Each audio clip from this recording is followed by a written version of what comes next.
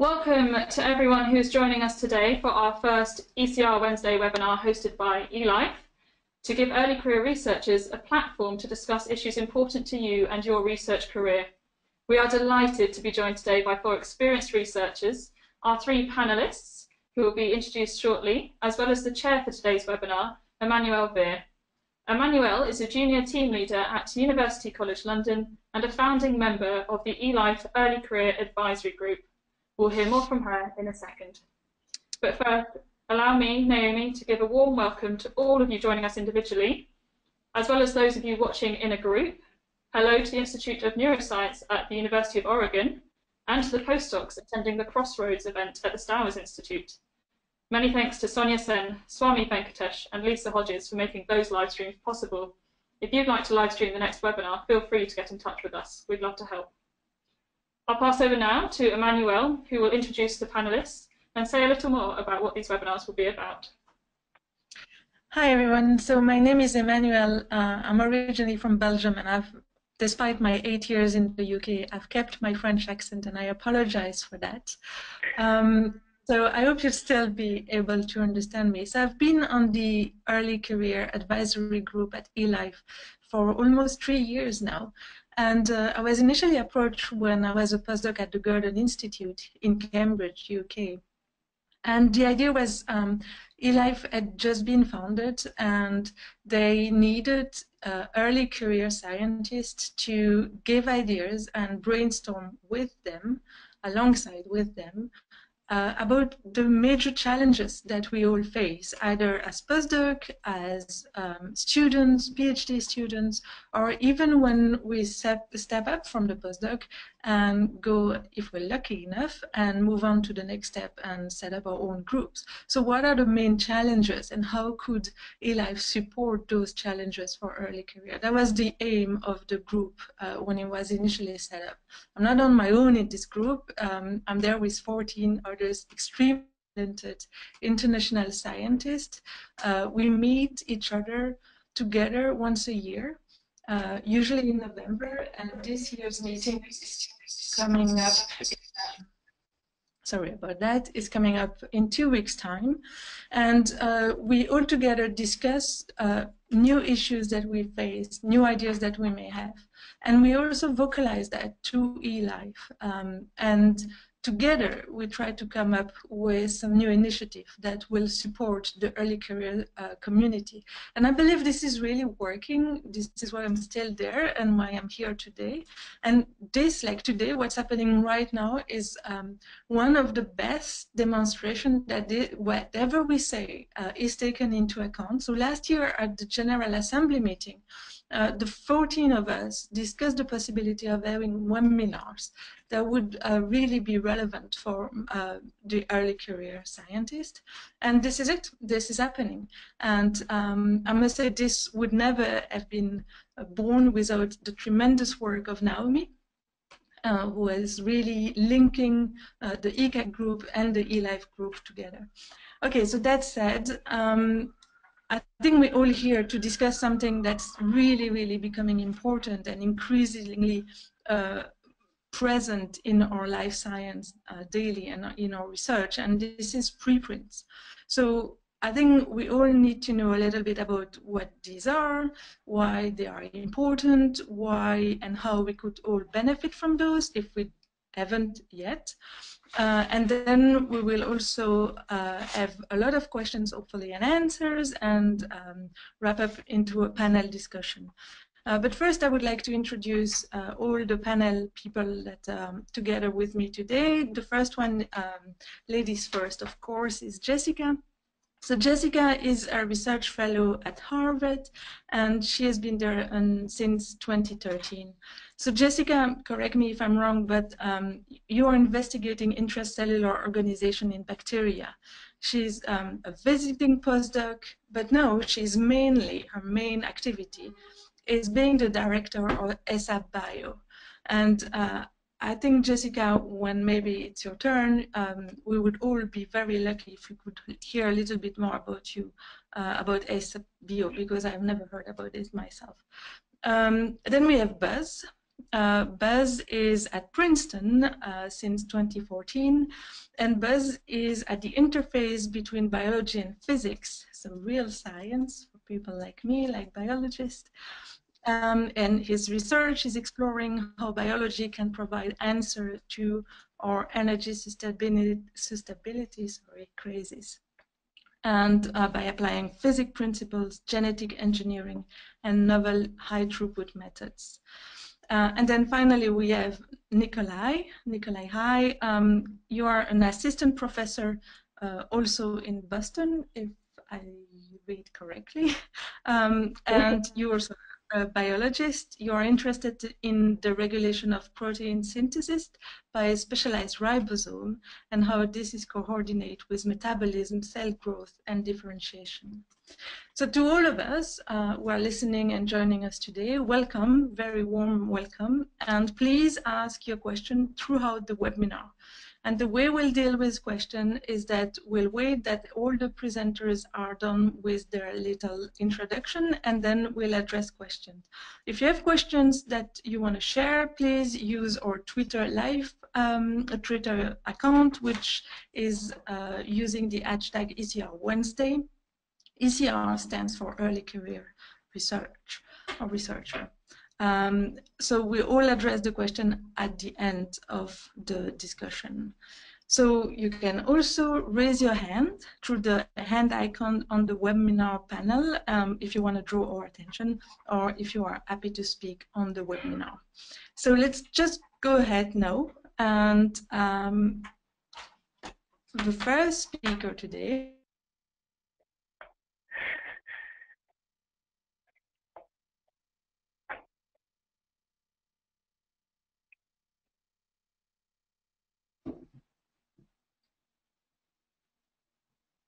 Okay. Jessica?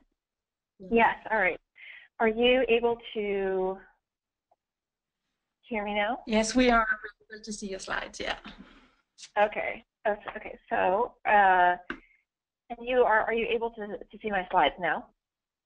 Yes. Yeah. Okay, wonderful. All right, let me just go full screen. Okay, so um, So as, as I think most of us who are aware of, or who are on this webinar may know, um, a preprint is a way of communicating your research results before those results are formally published in journal. And um, so preprints are essentially defined as a manuscript that is posted online before or also during journal organized peer review. So this is distinct from a manuscript that might be the author's last version or a final version of record from a journal they're sort of um, drafts. And, and, certainly people can post them long before submitting to a journal, but frequently um, in practice, uh, we are posting them around the same time as the submission date.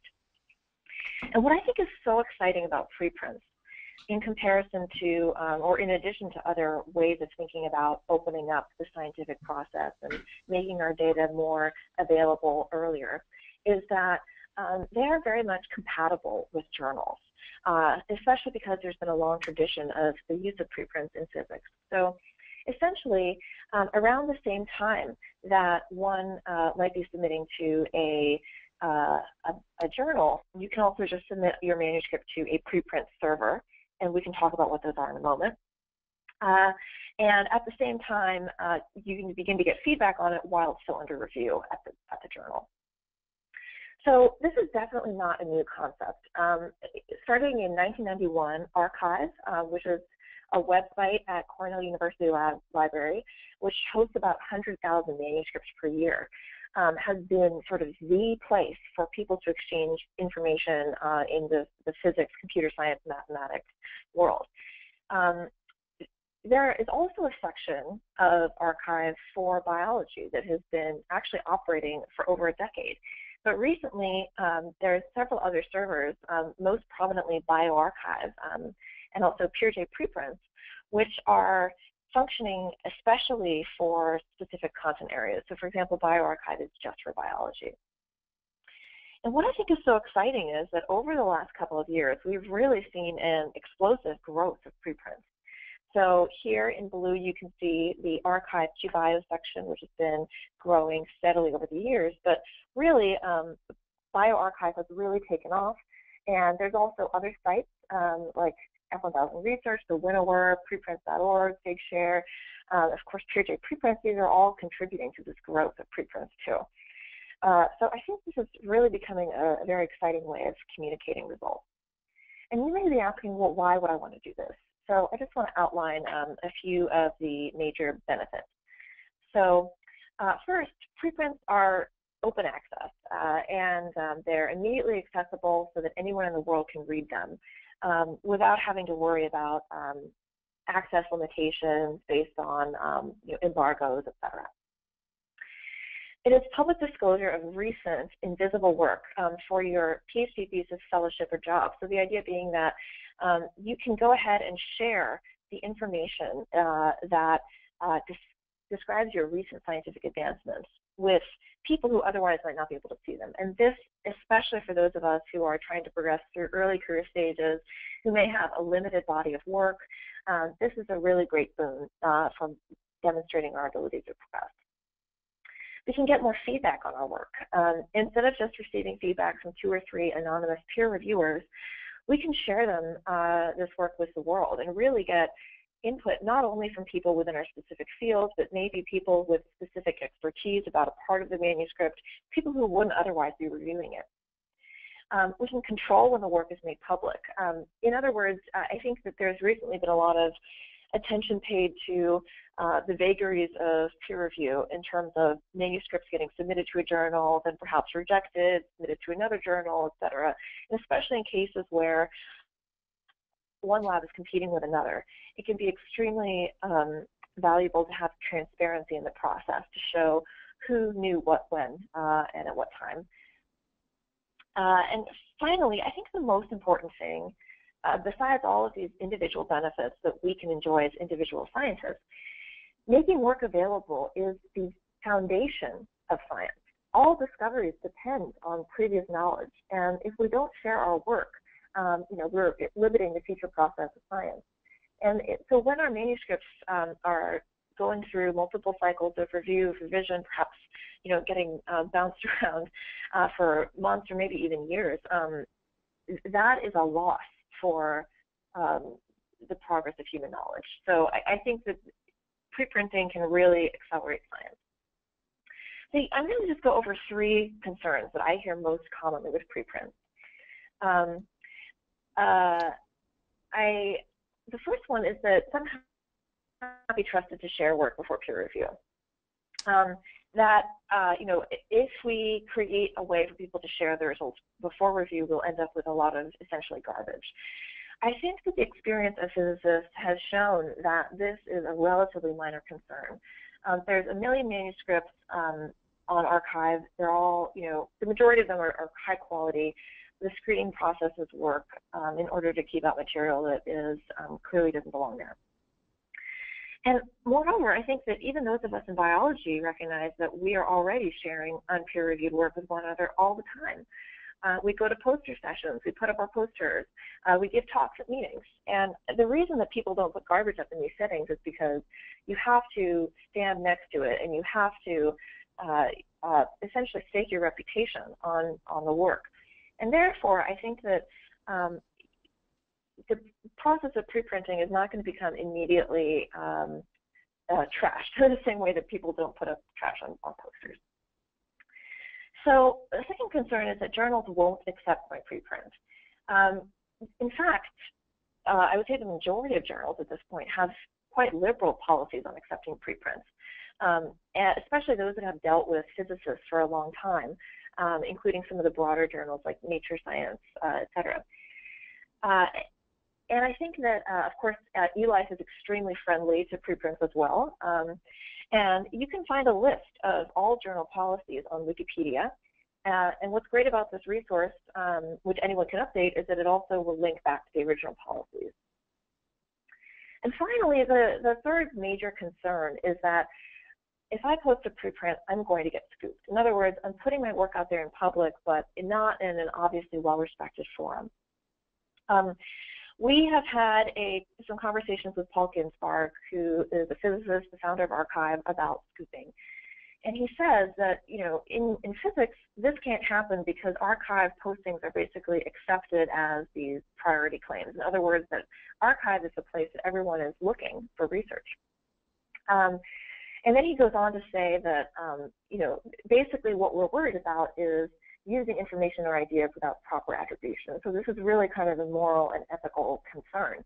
Um, so in order to kind of change our culture about this, ASAP.bio um, has been circulating uh, some draft statements at our first meeting, which I'll mention in a moment. And the idea being that we would like uh, to encourage scientists to feel uh, that they will cite preprints that are relevant to their work, much as they would cite a relevant paper. In other words, that um, acknowledging the citation is good scholarship, and we would like to have um, uh, a way for scientists to, to say that they will do this. So we're, we're working on this in the future. Now, despite some of these concerns, um, I, I, think that preprinting is typically a very positive experience. We ran a survey uh, at our uh, website, um, and the majority of people say that preprinting is a very positive experience. So based on this, we held a meeting at HHMI in, in I should back up a moment and say we are a group of scientists um, an additional organizer recently is James Fraser uh, at UCSF, who recently came out with a great um, PLOS podcast, by the way, on preprints. You should check it out. Um, but uh, we have we came together and decided to try to organize a uh, a group of junior and senior scientists, journals, uh, funders together, and to really talk about this issue. And we used um, the statements like the one that you saw to uh, kind of take the temperature of the room. We asked people whether they would endorse a statement like that, et cetera. And you can read more about this on our website. But we emerged from this meeting with a sense that preprints could really become a valuable addition to our system of communicating research. So now, um, moving forward, um, we recognize that you know you can't just have a meeting and say uh, you know declare victory, but rather this is a very long process of um, working to uh, work with funding agencies, university promotion committees, journals um, about uh, creating policies that are clear and friendly to preprints. And perhaps more importantly, I think that we need to think about ways to engage um, each other um, and other scientists because this is really a cultural issue. Um, if you're interested in becoming more involved with uh, ASAP.bio, with this community organized group, uh, please visit our website we have a way, uh, we're looking for people to act as ambassadors. In other words, people who are going to be willing to talk about preprints in their local institutions and as they travel around to meetings. Um, and you can sign up for that at asapbio.org slash ambassadors. I want to highlight one really recent exciting development. The NIH has just released a request for information on preprints um, that essentially asks for community opinions on how preprints are used um, and how they could benefit communication. So uh, if you have um, uh, a little bit of time before November 29th, I would highly recommend submitting a response. Um, you don't have to answer all the questions. You can uh, responses don't have to have a minimal length. Um, they are. Uh, it's a very easy way of sharing, making your voice heard. So, with that, uh, I think I'm going to give the presentation back to Emmanuelle, or uh, who, who should I? Me, yeah, indeed. Thank you so much, Jessica. That was absolutely brilliant. It's so much clearer, I think, at least for me. Um, so um, I was, um, yeah, sorry. Uh, we have a little bit of a poll question now coming. Um, oh, yeah, great. Just comment on one thing. Um, so for, before the, the poll question, one thing uh, is about concern number two. It's totally true because uh, we are actually under review in one of the journals that you have listed, and uh, we had uh, already submitted our paper to bioRxiv six months before. Oh, cool. Yeah, so it is absolutely true. It can happen for real. Okay, so um, no, the first question on this quick poll is have you ever posted a preprint? And please choose one of the following answer, yes, no, or I'm not sure. Great. Well, woo! it's a lot of you who haven't. Um, I can only encourage you to encourage you to do it. Anyway, um, we now moving on to the, our next speaker, uh, Buz. Buz, are you still with us? I am, and yes, I am. Great. Well, Buz, could you please tell us a little bit about your view on preprints, please? Yes, absolutely. I first of all, I really enjoyed Jessica's talk about preprints, and I felt that that was a, a wonderfully sort of coherent, as an overarching explanation of the whole field. My yeah, you can tell she's the director. I know. Um, my interest in preprints uh, was it really started out very pragmatically. You know, as a an early career investigator, I felt that you know there was a, a hell of a lot of pressure to get my work out to the public to the scientific community as quickly as possible. And, and I found myself being very frustrated initially with the sort of the glacial pace of traditional publishing. Um, and I'd known, you know, I'd known about Jessica's interest in, in preprints for, for a long time. And, and as a physicist, I'd always been aware of them. Um, but I, I'd never really, um, I, I, would never really taken advantage of them before that. And I thought, let's just give this a shot. There's there's absolutely nothing to lose. Um, and doing that first pre, I you know, doing that first preprint was one of the most sort of wonderful experiences I'd ever had. Um, you know, it, it sort of completely decoupled writing a piece of work, doing experiments, the existence of the work from having it being published in a traditional venue. Uh, and I felt like it was if anything, it was it was sort of deeply sort of psychologically satisfying, eh, you know, at the very least. Um, th- then, you know, I decided this was this was such a great experience. I'd do it for every piece of work, um, and, and, and you know, again, it starts with frustration, but it um, it gives you all these other it gives you all these sort of other wonderful benefits. Um, I was I, I was trying to to describe this to um, Naomi, the uh, organizer of the panel, uh, when we when she first contacted me about appearing here. Um, and I think I, I was sort of trying to describe the experience in a sort of roundabout way. And she came up with this wonderful phrase of accelerating professionalism to describe the you know the story I was telling her. So um, I thought I could share that with you. Um, we, we came, my team came up with this new technology for making whole genome knockout collections really quickly. And we sort of essentially, we, we had like a finished package sort of months before publication. And, and we came to submit it to a journal. And the same day we did that, we, we submitted it to bioRxiv.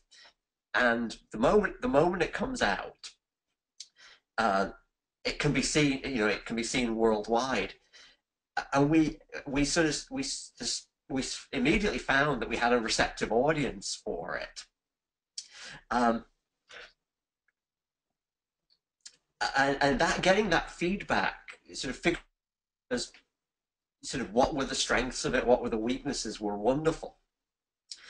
Um, and and that that's a, and that sort of that interest led us to say, well, led us to ask the question much, much sooner. What's the next paper we're going to do? Where can we focus our research efforts? Six, seven months ahead of where we would have been otherwise. And it also so forced us to ask the question, are we going to release more of this, more of this technique to the public? Things that, you know, for, for instance, we, we, we intended on patenting or applying for patents for. Um, so again, it forced it forced us to ask that question. Do we go through the patenting process? And by doing it sort of so far ahead of time, we were we were able to come at it in a in a much more um, in a much calmer way, uh, a much more considered way that I think we would have done otherwise. By doing that, it forced us to ask ourselves, you know, what's unique about this technique? What are, you know, how does it compare with other techniques in the field? And again, not from the point of view of, in, in a sort of a, wonderfully sort of honest, pragmatic way, that I think we an experience we wouldn't have gotten otherwise. And that and that whole that whole chain of events took us from took us from an initial preprint, you know, through you know provisional patents, through protocol papers, through software release, um, you know, and then and then having that that sort of basis of work that sort of came out of that initial preprint, it it makes us competitive for grants months and months and months ahead of where we would have been otherwise, which I, I think is a wonderful thing. It even accelerates thinking on other projects as well. So I, I can't recommend the thing more. I, I would I, I'd recommend that everybody do it and they they they view this as a way to sort of help solidify their scientific thinking process as well. Um, and I think I, I, I, think that's really all I have to share about it. You know, I, I'd say I, would say everybody who's attending, you know, try and try and try and do that. Um, and I feel I feel like um, I, I, um, I feel like uh, we should. I'm I'm happy to take questions. I was uh, so, so I was talking to Naomi yesterday in preparation for this, and, uh, and she said she said maybe we should sort of we should sort of break the ice with asking questions. Um, oh. So, so what started your interest in preprints? I know mine was sort of almost mercenary, but I, I, I think you were the first person who I, who I ever met in biology who did preprints. It was so oh, wonderful. Oh, really? Oh, wow. Oh, it wasn't, well, I, I had been following, um, so I have been following printing as a way of, I, you know, I was very interested always in these new ways of communicating research. Um, PeerJ you know, uh, as a journal seems very interesting to me. Um, and so I, you know, when um, bioRxiv came online, at the same time Bio, PeerJ Preprints was operating, I had a side project that I was working, on, and I hadn't invested that much um, time and energy into it, but I wanted to wrap it up and kind of make it, um, you know, write it up as much as possible. So that was really the first project that I posted um, in the sense that um, you know I felt that it would not be the only publication out of my postdoc, and so therefore it felt a little bit easier to begin with that. Um, but you know, since I've just had such good experiences with um, all the preprints we posted so far, um, it's definitely something that I recommend to, to everyone. Oh, that's fantastic. I, I think. Yeah. I'm sorry. Go on. Oh no no uh, I'm sorry I, I felt like you I I I felt, I felt like you were going to say something so please go ahead. Oh no I mean I I think um you know I, I think one thing that I'm curious to hear about Buz and Nikolai is um, how you guys get feedback from um, uh, any from preprints. Is it primarily through comments on first of all I guess which preprint servers are you using, and then you know what um, what other, uh, um, you know, do you see comments through the preprint server website, or do you get comments informally? How does that work? I think I, uh, oh. from the bioRxiv website, and those has been those comments have been incredibly civil, constructive, and polite, and that is something that really stands in a stark contrast with some of the anonymous peer review that we've received. Similarly to Buz, we also had overwhelmingly positive uh, initial experience with the, with the bioRxiv. I, within months of submitting my preprint, I had received multiple comments from the most respected experts in the field. They weren't just comments from graduate students browsing this wow. new thing, but they came from the very founders of the field, and they were very, very constructive and thoughtful. And we actually had a, an engaging discussion on the website of the bioRxiv itself. And then normally I receive many more comments by email as well of people who don't want to have the discussion in public. So it's a combination of both. Uh, but uh, similarly to Buz, preprints were not a new concept to me with the appearance of the bioRxiv because I had posted multiple math and physics papers on the arXiv before that.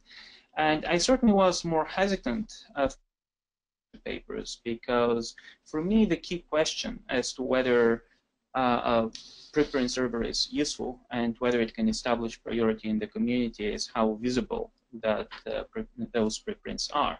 Because if the only people who see the preprint are your three competitors and a random fourth guy, uh, that's certainly a recipe for disaster. But on the other hand, if the preprint is being seen by thousands and thousands of leading members of the community, there's nobody who can possibly scoop you because they're going to undermine their own reputation. And what very quickly became clear to me with my own preprint that I posted on the bioRxiv and that was viewed uh, over 9,000 times by now, and more globally looking at the statistics for other preprints, is that preprints in biology do get tremendous amount of visibility. In some ways, they get more visibility than even papers published in traditional peer-reviewed journals. And my own experience is that even now that my paper has been published in Cell Reports for more than a year, uh, there are still 100, 200 new downloads from the bioRxiv preprint every month. So even even after paper is published in a peer-reviewed journal, having a preprint increases the visibility of your work. And if the organizers give me a chance to share my screen, I can show some more systematic data, uh, the distributions for number of HTML views and PDF downloads. Uh, but without showing the data, uh, what the data do show is that uh, there are hundreds of bioRxiv prints that have been downloaded over a thousand times and that have been viewed many, many, many thousand times as HTML views. So I have come to think that if you have a truly exciting piece of work, putting it on the bioRxiv is going to generate tremendous amount of visibility and traffic and your work will be well known. If your work is not so exciting, perhaps it will not be viewed very highly, but then the question is, does it really matter? And will it be very different even if that work is being published in a, a peer-reviewed journal. Uh, so from that perspective, I think that bioRxiv is just as Jessica emphasized, I very, very much agree with her. I think that bioRxiv is not a substitute for peer review or a sidestepping peer review. I sometimes hear this in editorials and they cringe because I think that bioRxiv is embracing peer review. I received peer review by the most respected members of the community within months uh, of submitting my paper on bioRxiv, and that was visible to every to everybody. If that's not peer review, I don't know what else to call it. And in general, uh, it, I I feel that preprints very much facilitate and increase the quality of peer review rather than undermine it. Um, they they work fantastically well. Uh, with the existing system. They, they just add this new dimension, which is much, much faster than what we've had so far. And they, uh, they have all the other wonderful qualities that Jessica articulated so well. So instead of um, uh, repeating more these phrases, I, uh, I would rather hear your questions and address any remaining doubts that you may have uh, that bioRxives are the way to go.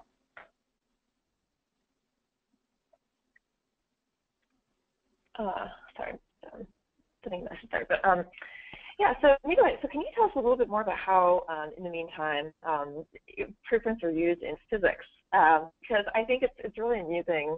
I don't interact with that many physicists, uh, but when I do, I think that there's this, um, yeah, it's kind of interesting to hear their reaction to our you know, uh, in, infantile connotations on preprints. Virtually, virtually both. The only website that most physicists check every day for new scientific work is the arXiv, because they know that everything important is going to come out first there.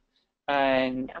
they, there are certainly heuristics that are being used for filtering out which of the many preprints to read, and one obvious heuristic is uh, the PI, who uh, from which laboratory a particular piece of work comes out. But uh, how strangely that heuristic is being enforced obviously varies a lot from researcher to researcher. But uh, uh, it is certainly the case that for the physics community, the appearance of a preprint on the arXiv is the announcement of the work and has the meaning of, of a publication in most cases. And there was this wonderful analysis published recently uh, on, on the arXiv showing that uh, within the set of papers that were ultimately published in a few leading physics journals, the subset that was published to the bioRxiv first was cited much, much more frequently than the subset that were published only in a journal and never deposited on the bioRxiv. And the other thing that was quite startling about uh, their analysis was the peak of citations of papers that appear first on the bioRxiv was just at the date when that paper, when those papers appeared in print from peer-reviewed journals. Uh, so that which suggests that the community has read the papers, internalized them, thought about them, and incorporated them in their own thinking and analysis uh, before these papers have received the official uh, stamp of uh, anonymous peer review. Mm -hmm. And I, I am quite optimistic that uh, biology is moving in that direction. I, I, see so much inertia and so much enthusiasm that uh, it is um, it is very likely, in my opinion, that uh, uh, we'll adopt the same culture. Yeah, I really hope so. I mean, I think I think the biggest uh, barrier is really just how new preprints are as a concept. I think when I talk to people about them, um, I I was talking to a group of postdocs for sort of like um, it was for a responsible conduct of research course. You know that they're obligated to be there, and therefore, um, you know, uh, not self-selected in any way but the majority had never, like 90% had never heard of preprints. And so I, I think that there's still, that the, the curve is growing very, very fast. Um, but I think in order to maintain uh, this rate or increase this rate, we need to be more vocal. I think Twitter, for example, on Twitter, everybody is talking about preprints, everybody's sharing preprints, et cetera. But um, you know, I think that that's also sort of a self-selected of people. I very much agree with that, and I'm actually of the opinion that if everybody knew what preprints really are, everybody would be using them. Uh, there, there are just so many overwhelmingly positive reasons to, to use them, yeah. as opposed to a few downsides. Um, and I do think that in the biology community there is much frustration with the slow rate of traditional peer review. Uh, there is a lot of desire to make our work uh, freely available, even if published behind the paywalls of a prestigious journal. So all of these things are there. Uh, perhaps the main break and misconception that is stopping many people from adopting preprints is the idea that uh, they will not be credited. Somehow their competitor will yeah. see their work and they will publish it in a journal first and they will get the credit for that. And uh, I'll mention just one anecdote, and then I'll give um, a broader argument that. But one anecdote is that uh, uh, much of the highly publicized legal proceedings over the uh, rights over CRISPR, Doudna versus Feng Zhang, and so on, would have been tremendously simplified if Feng Zhang had a preprint posted to document that indeed he had those ideas at the time when he claims he did. Um, and I see that I'm given a chance to show my screen. Oh. Yes, you should be able to show your screen with us now. Oh, oh great. Can you see I, I saw it, now I can't see it. it was there. it will come back, don't worry. Okay. We just have some technical difficulties, but thanks for carrying on. But yeah, it's it's gonna come back, Nikolai, don't worry. Okay, so I'll finish my argument then without it. So one, one, one, one prominent example where having a preprint which has a public timestamp, a credible timestamp, would have tremendously simplified the legal proceedings as opposed to having um, notebooks that nobody can possibly authentic, uh, authenticate when they existed and when they were created. So that's, that's uh, one part. The other aspect is if for people who might be worried that their work will be seen on the bioRxiv but not cited and they, they may not be credited, I, I would ask my colleagues to think uh, doesn't the same thing happen with peer-reviewed papers? Has it happened to you that you've published a paper, perhaps not in Nature, in another journal, and you really thought somebody should have cited it and they didn't cite it? So there, there's no publication venue that is immune of not crediting your work.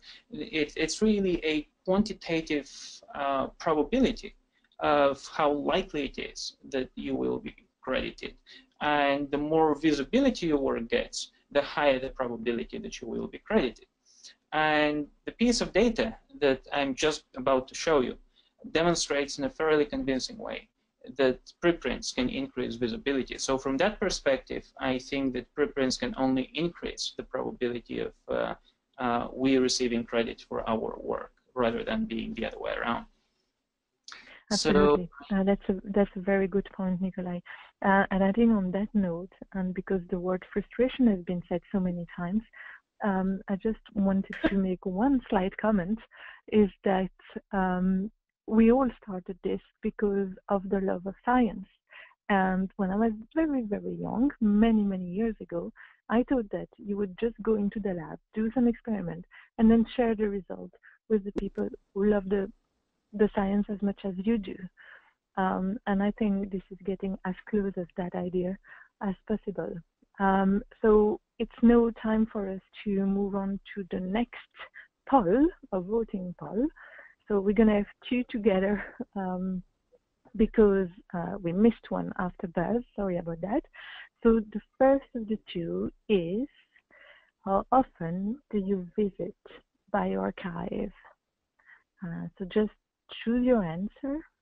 Never, once a month, once a fortnight, once a week, or more than once a week. Okay. well, it's, it's, it's less dramatic than the first vote, I must say. Um, there is still improvement there, but room for improvement. Okay, and our third poll. Um, so this is the third one would you recommend preprint?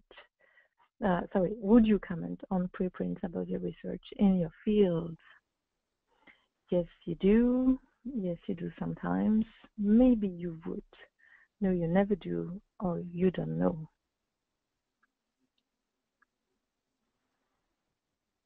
Oh, not too bad. Okay, so maybe. um, I thought that at this point, maybe people would know a little bit more about maybe. Um, all right, so I think it's time for us to start to wrap up and go into questions. So, um, Naomi. Oh, before you do that, can I just make uh, one little ad?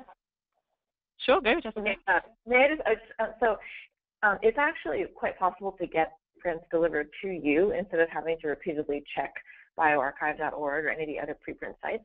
So most preprint servers are indexed on Google Scholar. So if you sign up for Google Scholar alerts to be delivered to your email, they will include preprints. And also there's a couple new great search engines, including one called Preprint, PrePubMed, where you can set up an RSS feed of all preprint servers in biology, and then you can, in return, get that delivered to you. And there's all, the Open Science Framework is also building a search tool as well. So I just wanted to note that you don't have to go to the website to, to keep up to date with preprints. So Excellent point. Thank you so much for that. So it's now Naomi's turn with everybody's questions, and we have quite a few. So let's go and start with that. This is fantastic. We've had lots of questions come through. Thank you for everyone who bought, uh, bed with us through the middle of that webinar. We had some technical glitches, so I appreciate all of your patience and thank you to panelists who are fantastic at carrying on. So we've got lots of questions to ask. What I'll do is I'll feed the questions to Emmanuelle um, and the panelists if you'd like to step up and answer if you feel it's appropriate for you to answer. And I think we'll carry on like that. We have lots to answer, so this is brilliant. If you keep, if you want to send a question in, there's a question box on the webinar software that you can use. Um, it's probably best at now at the moment. You could also tweet um, to eLife Careers, but we're more likely to see a question in the question box, so that would be fantastic. Okay, so I will pass back to Emmanuelle to go through some of these questions. Thank you. So uh, the first question is how far are we to index preprints on PubMed or PMC Europe? And that comes from uh, Kava Rottel. Sorry about the pronunciation. Anybody wants to jump in for that one? Jessica. Um, uh, yeah, so I think that um, you know I think there's a long history of the National Library of Medicine in the U.S. Um, being willing to consider only uh, articles that have been peer reviewed. So I think that um, you know preprints are probably not going to be being appearing on the U.S. PubMed um, soon, um, certainly. Uh, but I think that that doesn't mean that they they can't be discoverable to scientists. Uh, as I just mentioned, I think that Google Scholar is already doing a great job of making these visible, and many um, many biologists I know are already using Google Scholar as well. So um, I think that um, the you know if if you believe that NIH um, should have adopt um, policies or, consider preprints more strongly, um, I think the NIH RFI, um, which I mentioned earlier, um, I think it is open for everyone to comment. Would be a great um, in which to indicate your feelings about how preprints are used in your field and could be used. Great, thank you. Anybody else to comment on this?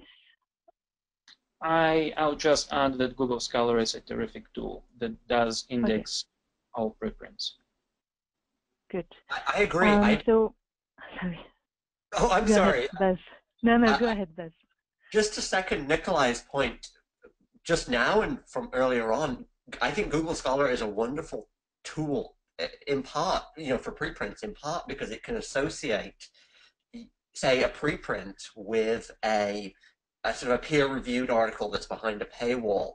So, so what I've done, you know, for articles is take the the sort of the final version of the manuscript and then upload it to the preprint server after it's been sort of the text has been finalized, so that you can sort of circumvent the paywall, in essence. Anyway, essentially, yes. Like nobody's called me on it, so yeah. I, I think it, it's I think that's a wonderful way that you can get your work out more public uh, to a broader audience, especially if. thing, Buz, is that for most journals, this does not even violate their copyrights because even if they don't allow you to share their formatted version, uh, most journals do allow you to share your formatted version coming from uh, uh, from your manuscript. And if you use LaTeX uh, to typeset it, in fact, it might look much better than the published version. Exactly, and, and, if you think about it, that's how PubMed Central works in many cases as well. So I, I don't see that there's in any way a problem about doing that. Uh, and it means, say, if your work is biotechnologically relevant, it's much more accessible to, say, people in startups who can't afford journal subscriptions, for instance, uh, which I think is a wonderful thing. You know, that you know, we, we as academics and universities have access to this enormous world of peer-reviewed literature thanks to our libraries most of the world doesn't have that, you know, especially people who are doing really interesting, sort of commercially relevant stuff. And just one more short addition. Beyond Google sure. Scholar, Google itself ranks very, very highly everything published in preprints. And I don't know about others, but I use Google a lot to search for things. So that's very useful. Yeah, I do that too, actually. Um, so our next question is, do preprints affect smaller labs versus larger labs differently? Anybody uh, for that one? I'll take this one. So I yeah, certainly Nikolai.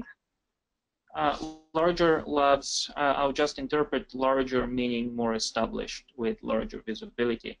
Uh, for them, uh, the reputation of the laboratory and the principal investigator can certainly add more visibility to a preprint and can certainly reduce the probability of the idea being stolen in some way. But on the other hand, I have seen very many examples of preprints coming from uh, not so influential, not so well-established labs that are exciting enough and that get picked up by the community and via the Twitter, via the social networks, uh, via email, uh, these papers are still downloaded uh, many, many thousands of times. They're cited frequently even as a preprint. Uh, so uh, the probability of your work being visible as a preprint clearly depends on how famous the lab is, which, by the way, is true for a Nature paper too. Uh, but if the work itself is intriguing enough and strong enough, I think that it can be noticed on its own right without having famous authors. Right? Anybody yeah, else? I mean, I just want to add. I would just like to add to that. I think that, um, yeah, that that certainly. Um, I think Nicola's point is completely correct. But that during peer review, um, you know, sometimes there, uh, some have said that peer review is sometimes dependent upon connections between um, the PI of the lab and you know editors and, and people in the field, and so it may be easier for a more established person to find a friendly reception during peer review. And with peer and with preprints, at least um, those junior people are able to get their work out um, in a citable way. So in, in that sense, I really think it is kind of like uh, leveling the playing field a little bit.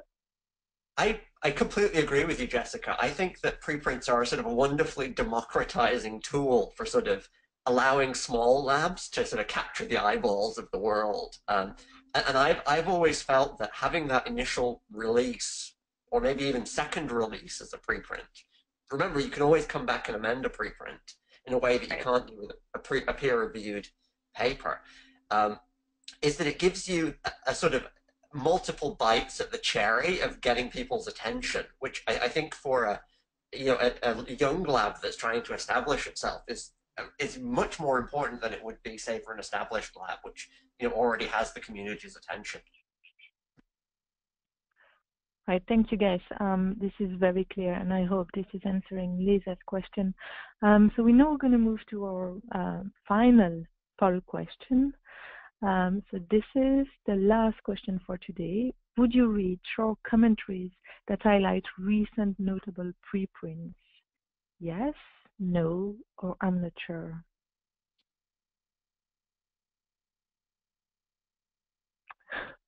Wow, this is a pretty, I'm sorry, I, have access to the result a few seconds before everybody else, but this is a pretty clear answer, okay. um, well, this is great. Uh, so carrying on uh, with the questions, uh, we've got a question uh, from Twitter. So Gunther on Twitter is uh, asking, what is the benefit of publishing in a journal after posting to bioRxiv? That actually oh, is a good I, question. I, okay. I can just jump in really quickly and say that I think journals are playing a really important role in um, our scientific ecosystem in the sense that another peer review is um, you know, I, I, at least, well, let me put it this way. Peer review that is organized in a less biased way um, than uh, perhaps somebody asking um, their friends, right? I think that is still a very valuable thing. And journals provide an essential way of stamping credibility on papers. Um, I think that we as humans need metrics and and heuristics for understanding what to read and what to pay attention to. I think that in the future we can figure out other ways of doing this, but um, from the perspective of uh, uh, Ron Vale and Tony Hyman, who wrote a really, really wonderful um, article, I think it appeared in eLife, uh, about the separation of publication into the steps of disclosure and um, they call it validation. The idea being that you can disclose work in a preprint and then have it evaluated or validated in a journal. And those are kind of separate things. Um, you know, I think that right now those are steps are kind of wrapped up together, um, but there's real value in in, in removing them. So, but I'll let the other panelists weigh in on this. I, I think you put that in such a lovely way, Jessica. Like I, I, I realized with with going through the whole preprint experience that sort of in the past when scientific information was disseminated on paper, journals um, journals were sort of in charge of uh, publicizing it, sort of stamping it with credibility, and then and then disseminating it, you know, in terms of like a, a sort of a printed volume. With, sort of with electronic media, for you know, for the past 20 years or so, we've behaved as if that system still existed. You know, the journals were in charge of credibility, publicity, and sort of dissemination as well. Now, though, you know, with things like preprints, we can completely decouple those things. You know, a, a preprint is, you know, can be the initial dissemination method. And I think the role for the journals now is to act almost as like curators of that sort of vast amount of information that comes out. They can help us as scientists sort of sort out the small amount probably of stuff that shouldn't be out there and they can also serve to sort of highlight things that everybody should, you know, everybody should have their eyeballs on. Uh, and I think that's that's an amazingly um, you know that's an amazingly valuable ser service. There's there's far more information in the world from the scientific community than any one person, especially like a practicing scientist who has to be in the lab, you know, writing grants, could possibly you know, assimilate. Um, so I, I, think you know their their their role I think is is actually preprints help really define their role, I think, much more clearly now than they did, say, five years, than their role was defined five years ago. Great point, Buz. And this is so well supported by the results from the last poll. Everybody expressed desire to read commentaries highlighting a preprint, and they think that's one of the functions a journal can serve.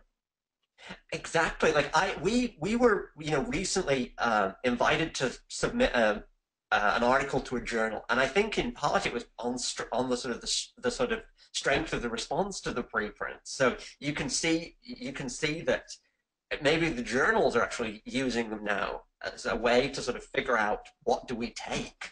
They are. I, have heard that PLOS recently recruited editors whose uh, job is specifically to go through bioRxiv and choose papers to uh, to be peer reviewed by PLOS Genetics. We invite the authors to submit them uh, to, to PLOS Genetics. I think that's like such an amazingly wonderful thing. You you sort of you have access to this wealth of information now about a paper. Like you don't have to sort of use your gut on you know is this going to resonate with people or not. You know you have actually a sort of actionable metrics now. Uh, and you, you know it can it can also support peer review as well if you think about it you know you know, traditionally, I think peer review has been sort of almost a very harried process for the reviewers. You know, they're they're cut off from all of their sources of information about this thing. Now they can see what you know potentially thousands of viewers have said about it. You know, might have decided. You know, have they decided to download it? Have they read it? Um, so, so I, I think it, this actually, you know, this has the potential, I think, to just dramatically strengthen peer review, actually, and you know, dramatically improve the credibility of scientific work sort of going forwards. Yeah, thank you so much, Beth, for that. Um, I think that's a very important point. Um, it's like uh, reshaping the entire publishing world, and um, everybody that is at stake of that, including the reviewers. So in the interest of time, we're just going to finish uh, by asking each of you guys uh, one question. So um, it, this is a question from Adriana, and she says, uh, preprints are great with the caveats that have been mentioned, but do you think that preprints will eventually replace the current system of journal submission or peer review? or how would you reconcile the two ways of sharing science, with one being peer reviewed and the other one who isn't, in terms of equal acceptance for jobs, fellowships, etc. So, just because of interest of time, I need a yes or no from each of you, Buz, Jessica, and Nikolai. Who starts? So, can we clarify whether the question is will preprints replace peer review, or will peer review and preprints replace journals? Um, I think both the reconciliation. I think the main question is really how do you recon- uh, reconcile the two, like in the same world, and how would that impact yeah. on uh, acceptance and like fellowships, publications, grants? You know, like being the first author of a big paper still is uh, one of the major metrics one of these days. Okay. Um, yeah. I, I don't think I can say that in yes or no, but I can say it in one sentence if I can try. Okay, um, one sentence. so you have think, less than a minute. Um, it's important to be able to show interim progress of our research, um, yet peer review is still a really important process for the validation and growth of science. And we need to make peer review, I would love in the, in the future for peer review to be a more dynamic process so that um, we can continue to improve work and build upon work over time. Great. Well done. Nikolai, yes or no? preprints are certainly com compatible with peer review. We we need peer review. It's going. It's here to stay with us. So I, I see the journal system currently being mostly submit, uh, consistent with preprints, and we can certainly enhance their compatibility in the future. Uh, there, there are forward-looking journals that already allow the direct submission of preprints for peer review. But uh, yes, I, I, do see them even now as being compatible. That's my short answer. And in the future, I can see them being even more compatible. And I want to emphasize again one popular misconception that the preprints sidestep peer review. I, I vehemently deny that. They do not sidestep peer review. We need peer review. I love preprints. I love peer review. I want both of them to stay with us. Thank you so much for that. And Buz, just one sentence, yes or no? I think they're they're naturally complementary. Uh, I think that pre, pre, sorry, we're gonna have to stop with that. I'm very very sorry. I would love to hear the argument, but really we are really really running um, short on time. I'm so sorry. So I know I have to thank everybody uh, for being so supportive, uh, being here, sharing your enthusiasm and your knowledge preprints. Uh, everybody for attending and uh, asking all your questions. We're going to be in touch about this, and please, guys, be in touch with us about this as well. Uh, use our Twitter with uh, the hashtag ECR Wednesday at eLife Careers um, as much as possible because that means we can see them. Uh, and um, okay, and thank you. Just to add, we are live on Twitter now for the next hour. The panelists will be joining us there. So there were lots of questions that did not get answered. We're very sorry about that. Please do post those on Twitter, and we'll try to do that for you as well. And I hope we can get your questions answered one way or the other. That we may be able to follow up with the panelists as well by email, because some were very specific. So thank you for joining us, and we'll say goodbye from here, and we'll see you on Twitter. Bye-bye. Bye-bye. Thank you so much.